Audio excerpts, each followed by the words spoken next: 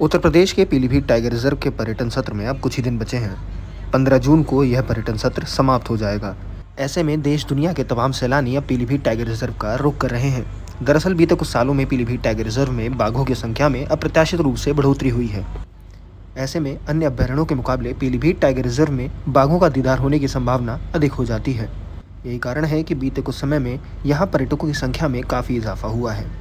अगर बीते एक हफ़्ते के आंकड़े को देखा जाए तो 1500 से भी अधिक लोगों ने टाइगर सफारी का लुत्फ उठाया है। हाल ही में पीलीभीत टाइगर रिज़र्व के सफारी रूट का एक वीडियो सोशल मीडिया पर वायरल हुआ है। आप भी देखें ये खास वीडियो। उत्तर प्रदेश के पीलीभीत टाइगर रिज़र्व के पर्यटन सत्र में अब कुछ ही दिन बचे हैं। 15 जून को यह पर्यटन सत्र समाप्त हो जाएगा। ऐसे में देश दुनिया के तमाम सैलानी अब पीलीभीत टाइगर रिज़र्व का रुख कर रहे हैं। दरअसल बीते कुछ सालों में पीलीभीत टाइगर रिज़र्व में बाघों की संख्या में अप्रत्याशित रूप से बढ़ोतरी हुई है। ऐसे में अन्य अभ्यारणों के मुकाबले पीलीभीत टाइगर रिज़र्व में बाघों का दीदार होने की संभावना अधिक हो जाती है। यही कारण है कि बीते कुछ